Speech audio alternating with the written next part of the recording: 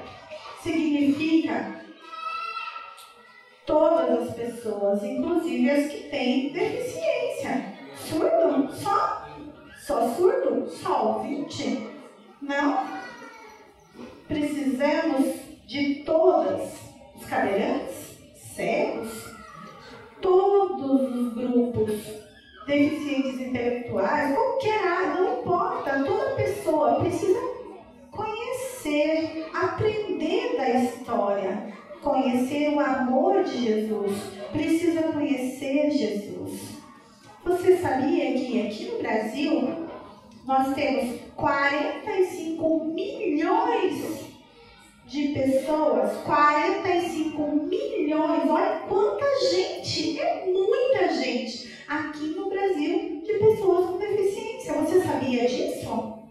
É muita gente. É demais. É muita gente. São muitas pessoas. Mas eu fico pensando, na igreja é normal ter cadeirante? É normal? Não é. A igreja é normal ter surdo? Intérprete é normal. Toda igreja tem? Não é. É normal na igreja nós temos pessoas que ajudam cegos? Não é normal. É normal na igreja ter pessoas que ajudam pessoas com alguma deficiência intelectual? Não é normal. Por quê? Mas parece que não entenderam claramente. Era toda criatura, toda criatura. Não é só alguma. Ah, eu vou evangelizar aquela ali porque é bonita. É. De repente um homem vai lá e aproveita. Oi, oi, tudo bem? Vou aproveitar. Jesus. E a mulher, que isso? Você está me evangelizando mesmo? Sim, claro, sim. Vamos à igreja comigo? Vamos. E ela, é, eu aceito para a igreja com você no homem. Yes! Jesus vai salvar você. Vamos. É assim? É assim, é certo? É só isso que tem que acontecer? Não é. Mendigo precisa ser evangelizado. A criança precisa ser evangelizada também.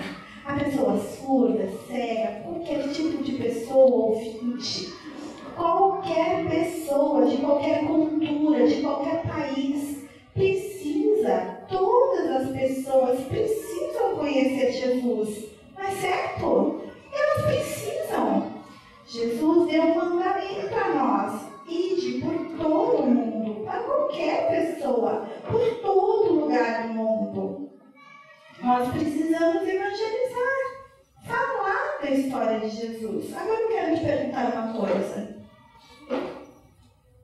Você tem coragem de evangelizar? Você tem coragem de evangelizar? Ai, eu, você, ai, eu gosto de vir ali na igreja. Gosto, é muito legal. Fico muito feliz. Quando acaba, eu vou com meu grupinho comer alguma coisa, uma pizza.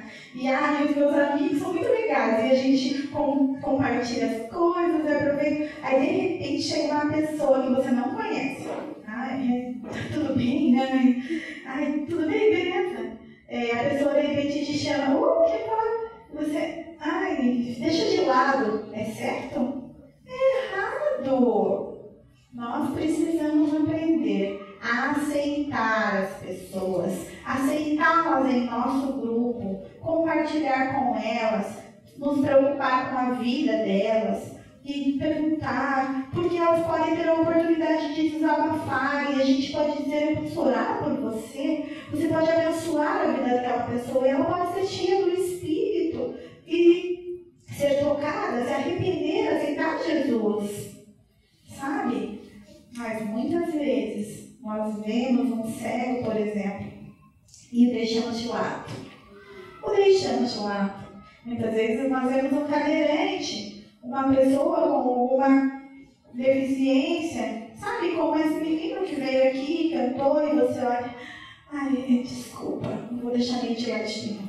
Não, isso não é certo. E às vezes você vê lá um surdo que ele não é fluente em Libras, só conhece alguns sinais, alguns poucos, você, ai, não sabe se comunicar direito, deixa de lado, deve falar com um amigo que vai. Isso é certo? Não é certo. Nós não podemos fazer isso. Olha o que diz o versículo. A toda criatura, nós precisamos entender. Ah, você sabe o básico? Tudo bem, vou te ajudar e te encorajar ah, você conhece algo, posso te ajudar. Você não conhece nada vão te ajudar, vão te encorajar. Toda criatura significa isso. São todas as pessoas. Qualquer pessoa. Você consegue entender? Qualquer pessoa. Entende? Sim, é difícil. Porque às vezes nós só pensamos em nós mesmos, então, estamos tão preocupados, mas não entendemos claramente o ID de Jesus. Muitas vezes eu fico pensando só em mim, mas é só eu? Não. Toda pessoa precisa entender e obedecer o ID de Jesus. Precisa ensinar sobre Jesus, falar sobre Jesus para sua família, no seu trabalho, falar sobre Jesus em qualquer lugar, evangelizar, deixar claro sobre o Evangelho. Mas às vezes você pensa, eu conheço. Eu já conheço, já sei, de repente você encontra algumas pessoas e você conversa com elas, mas você não fala nada a respeito do Evangelho. Você fica lá, fala e conversa e fala, que mulher bonita que passou ali. Uh, que coisa! É verdade, é verdade. Mas a respeito do Evangelho não se fala nada. E dentro de você, o Espírito Santo está ali abafado. Ou às vezes chega algum amigo seu e você fala, vamos, aí ele fala para você, vamos lá, beber, vamos numa balada, vamos em algum lugar. Você, ai, mas o Espírito Santo, beleza, vamos sim, vamos sim. Você fica ali se sentindo constrangido, mas pega, aproveita a balada. E aquele sentimento de angústia corrói você. Às vezes você é casado, já está casado, mas aí você fica ali meio sem ter o que fazer e algo te seduz. Uma mulher melhor? Vamos lá, meio dar uma galanteada, a mulher meio dá uma olhada para você e você pega até a aliança e bota até no bolso, né? Tudo bom! E começa a flertar e começa ali a ter um problema com relação ao adultério. Espera aí, como é que você esquece das coisas? Isso é evangelizar? Isso é pregar? Não é. Não é não. Não é não. Isso não combina com o Evangelho. Isso não combina com o Evangelho. Nós temos que entender claramente que Deus nos escolheu, nos, nos chamou a pregar, a evangelizar.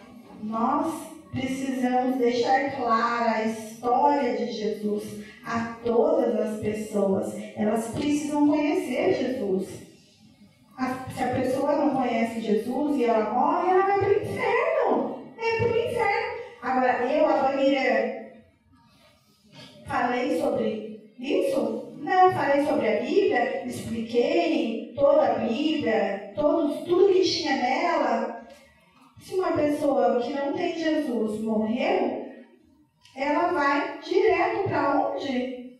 Para o inferno. E é lá que ela vai sofrer é lá que ela vai ter um sofrimento eterno. Agora, você quer que alguém da sua família vá para o inferno? Você deseja que o teu amigo vá para o inferno? Você quer que você vá para o inferno?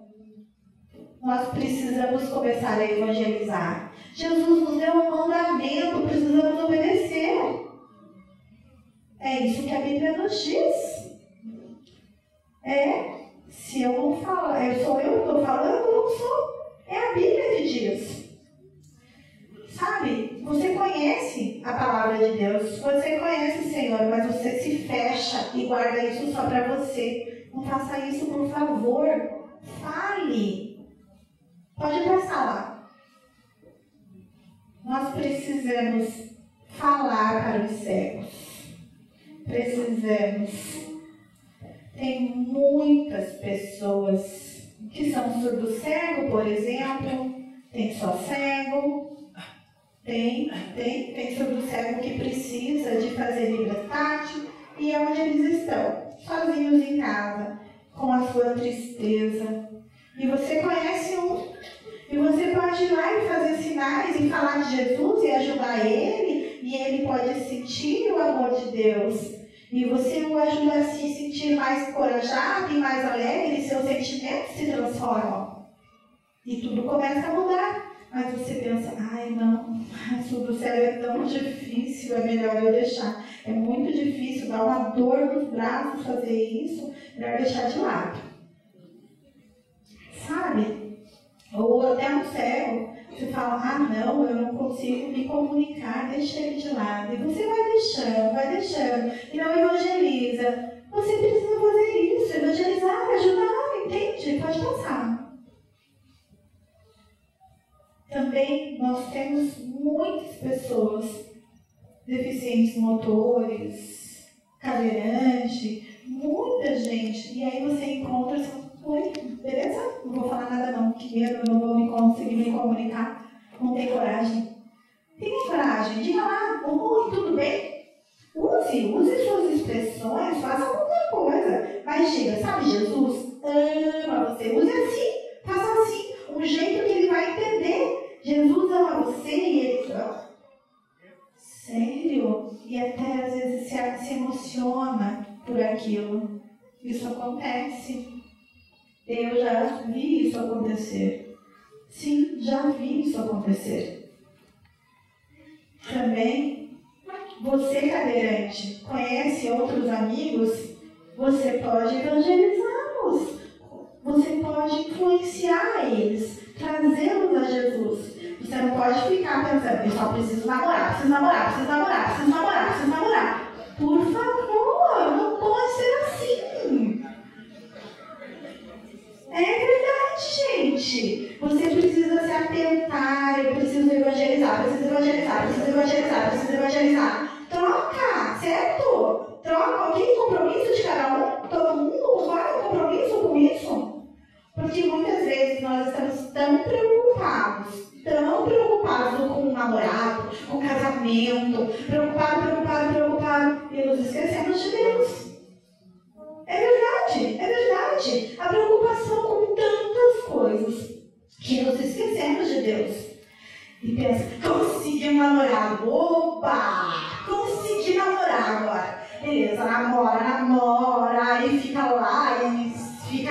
fica junto, e namora e casa. Agora beleza, casei, que ótimo. E daí começa a dar os conflitos. Conflito, conflito, conflito, conflito, conflito. E peraí,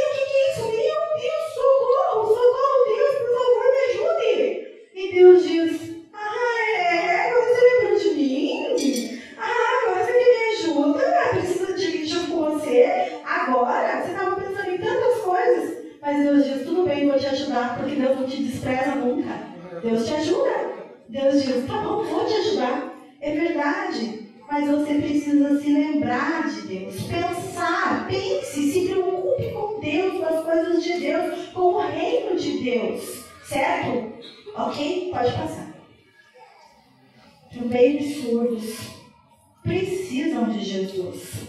Certo? Eu fico pensando, aqui há 32 anos, certo? É muito tempo, não é? Mas não é, sabe? Não é tanto tempo. Porque aqui no Brasil só começou o trabalho com os surdos em 1979. Foi quando começou. E onde antes? Onde estavam os surdos? Na igreja? Não. Onde estavam os surdos? Já tinha surdo? Os surdos conseguiam saber Libras? Não. Eles tinham que oralizar e saber só se comunicar desse jeito. Como é que vivia esse surdo? Fazia como? Sabe como? Ficava ali recuado em sua casa. Ficava isolado. Agora, os nossos surdos podem fazer faculdade, tem surdo pastor, surdo missionário, surdo em muitas áreas da sociedade. É muito maravilhoso isso, muito legal. Mas o que? O surdo pode se esquecer de Deus? Pode se esquecer de Deus, surdo? Não, não pode. Nós, surdos, precisamos nos lembrar de Deus. Aí agora, de repente, fala assim, vem cá, ó, famoso interno, venha, venha aqui, estude, estude, estude, estou formado,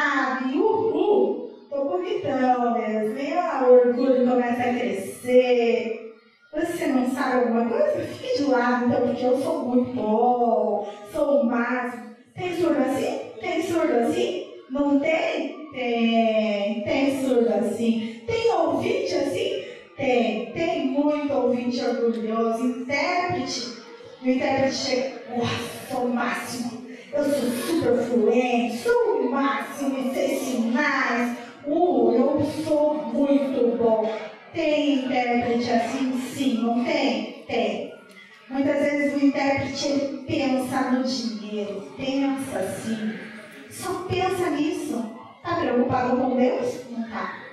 Ele não está preocupado com Deus. É difícil, mas precisamos, em primeiro lugar, nos preocupar com o Senhor, com Deus. É Ele que me deu o dom de interpretar, é Ele que me deu tudo que eu tenho. Tudo pertence a Deus. Eu preciso respeitá-lo. Deus me escolheu para ir. Certo? Pode passar.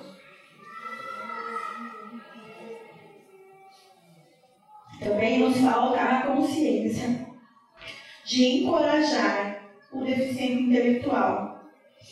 Sabe? E de repente, o autismo, o autista, sabe, usamos muitos sinais para o autismo, né? Qual sinal mais? Esse sinal, esse sinal, esse sinal. Então, muitos sinais que a gente usa, mas para a mesma palavra. Essa palavra, autismo nós precisamos ter a consciência de encorajá-lo, de fazer mais. Por quê? Porque muitos autistas, muitas crianças nascem autistas. Nós temos muitos casos, muitos. Fico admirado. Houve uma pesquisa, tinha mais ou menos mil crianças, a cada mil crianças que nascem, uma era autista. Uma pesquisa que eu vi, a cada mil crianças que nasciam, uma era autista.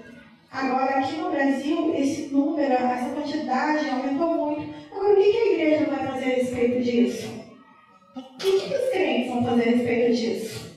Então, nós precisamos lembrar a toda criatura. Toda criatura também significa o autista também.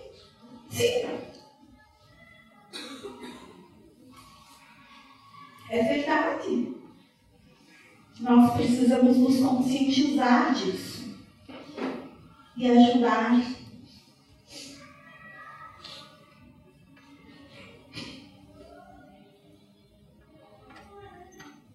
Uma ocasião eu fui à República Dominicana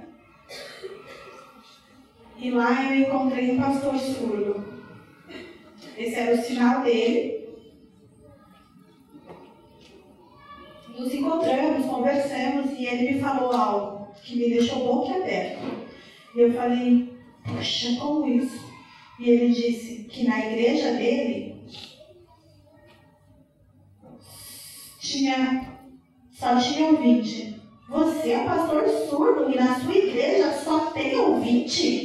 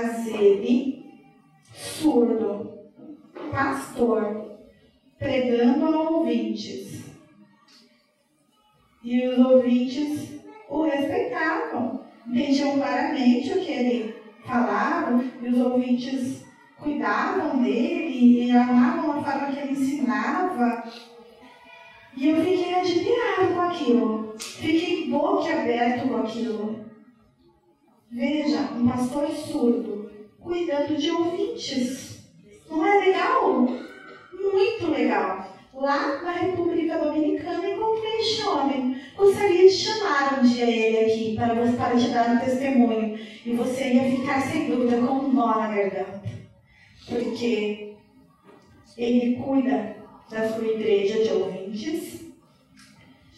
E, e ele. E lá meu pai. E ele vai. E vai para um outro lugar que tem um 300, 300 surdos também. E, e ele vai, ensina os ouvintes, mas ele também cuida de uma outra igreja que é só de surdos, que tem muitos surdos. E eu fiquei assim, como assim?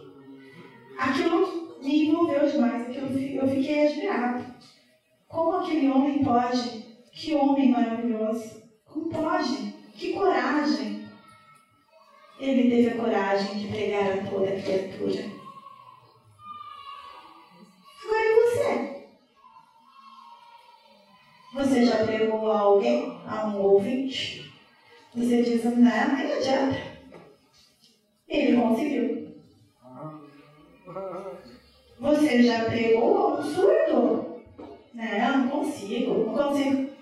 Ele conseguiu.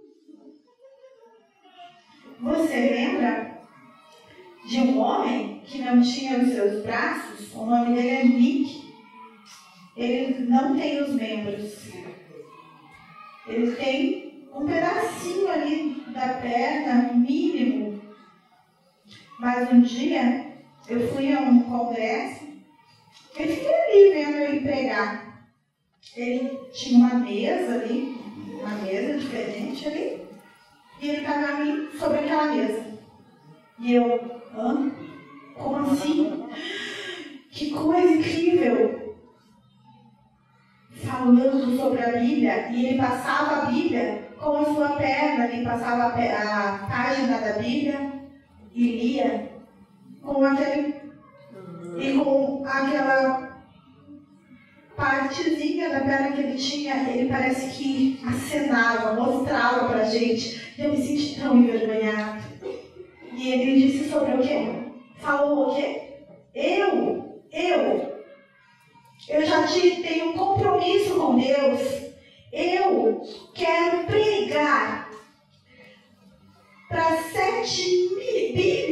Pessoas, para pessoas de todo mundo. 7 bilhões é uma soma muito grande.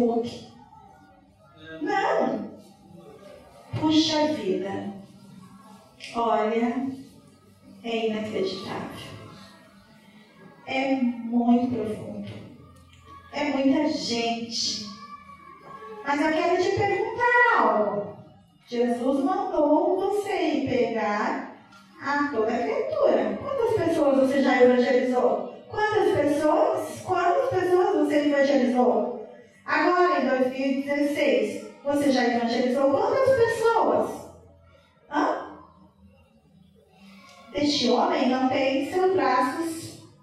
Este homem não tem suas pernas.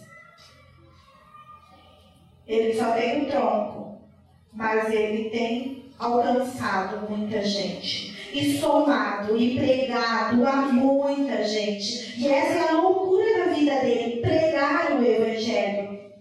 E você? Qual é o teu vício? É evangelizar também? Ou o teu vício é droga? Ou o teu vício é pornografia na internet? O que, que é o teu vício? O que, que é? Este homem não tem os seus membros, mas o seu vício é pregar. A sua loucura é evangelizar. É o que ele ama. Ele ama a Deus. Mas e você? Eu quero orar.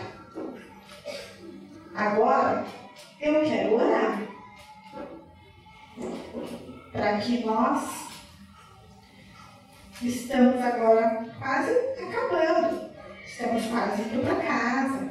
Alguns de vocês vão voltar para as suas cidades, vão voltar para as suas casas longe daqui. Mas e aí? Você não pode se esquecer. Jesus te deu um mandamento. Vá por todo mundo. Alcance todas as pessoas. Pregue a toda criatura. Todas as pessoas só os surdos, só os ouvintes, só os cegos, só os cadeirantes, só alguma pessoa de um outro grupo, um idoso, qualquer pessoa. Não! A todas as pessoas. Se você aceitar isso, se você realmente aceita isso, eu quero orar por você. Se você quer dizer sim, vou pregar o Evangelho eu quero pedir que você levante a sua mão. Se você aceita esse desafio, amém. Deus te abençoe. Mais pessoas lá, temos mais alguém. Que Deus te abençoe, amém. Você Também Deus te abençoe. Mais pessoas, Deus te abençoe. Deus te abençoe. Deus te abençoe. Deus te abençoe. Deus abençoe você. Você, que ótimo. O Tubal, parabéns, Tubal. Deus abençoe você. Que Deus te abençoe. Que Deus te abençoe. Temos mais pessoas que querem você. Deus te abençoe. Deus te abençoe. Deus abençoe você. Você, Deus abençoe. Que ótimo. Deus te abençoe. Deus te abençoe. Você, Deus abençoe. Palmas para Ele. Deus abençoe você. Olha só. Deus escolheu você, você, para evangelizar. Falar a respeito da história de Jesus e Ele quer te conduzir, guiar a sua vida, o caminho perfeito. Ele conhece profundamente e Ele quer que você o conheça também. E Ele vai abençoar a sua vida. Deus quer abençoar você de uma forma infinita. E eu quero orar agora. Você que levantou a sua mão, eu quero pedir que você a coloque nessa posição. Pode colocar assim numa posição de receber. Porque eu quero que você perceba que Deus está ungindo as suas mãos. Deus está te ungindo, te enchendo, para que você possa mostrar Ele neste mundo. Coloque suas mãos assim, eu quero orar.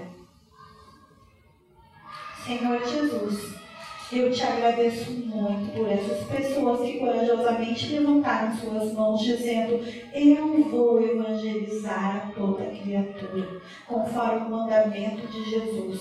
O Senhor pode ver agora as suas mãos que querem receber a sua bênção e a sua unção. Por favor, Senhor, unja as suas vidas, deles, Deus, ousadia para mostrar Jesus. Também, Senhor, os abençoe. Abençoe sua saúde, a sua vida financeira, todas as coisas das suas vidas sejam abençoadas. Família, cada detalhe das suas vidas. Qualquer problema, Senhor, deixe, seja deixado de lado para que o foco dela seja o Senhor, no, com os amigos, no trabalho, em qualquer lugar. Elas sejam focadas e preocupadas em evangelizar, como aquele homem que quer alcançar tantas pessoas, quer alcançar o mundo inteiro da forma que o Senhor trouxe ele ao mundo. Por favor, Deus, também do mesmo jeito, guia cada um de nós, que cada um possa entender claramente isso, que a sua bênção seja sobre a vida deles, Deus. Por favor, Pai, em nome de Jesus, os abençoe. Abençoe as nossas vidas em nome de Jesus. E nós agradecemos por esse aniversário do Ministério Eficiente. Agradecemos por cada pessoa que está aqui. Muito obrigada, Senhor. Abençoa a vida de cada um em nome de Jesus, o nosso Senhor. Amém. Amém. Amém. Agora, quero dar um aviso antes. Tá vendo esse leite, desses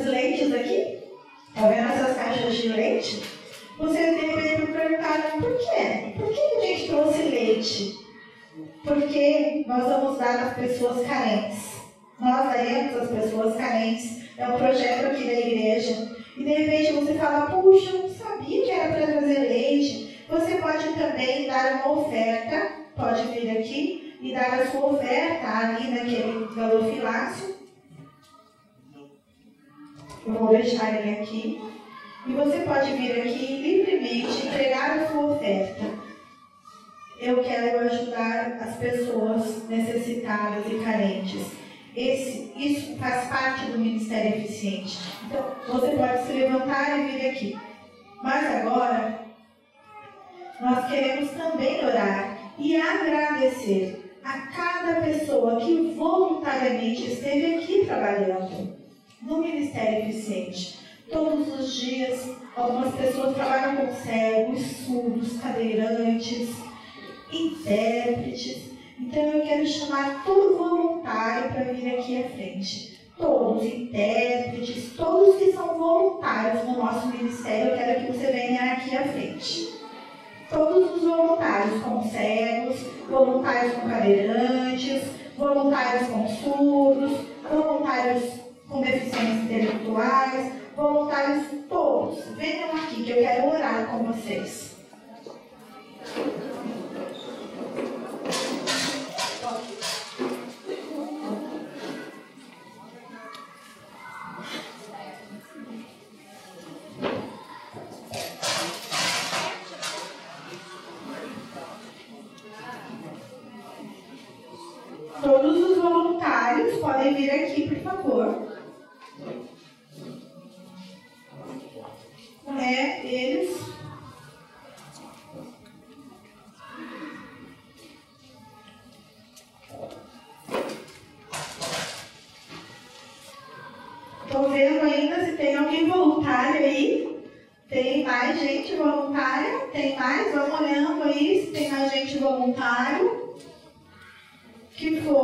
Cadê?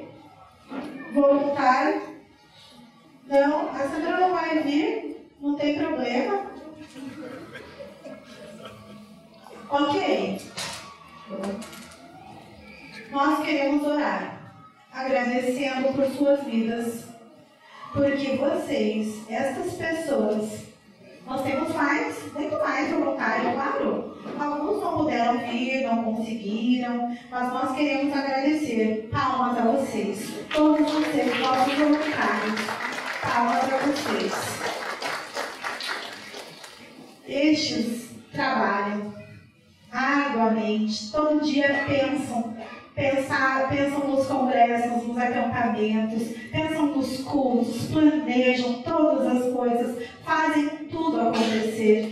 São eles que livremente servem aqui. E nós parabenizamos e agradecemos por suas vidas. Nós queremos orar por vocês, certo? Vocês aceitam orar comigo? Vamos orar por eles? Eu quero pedir a Natália para orar por eles.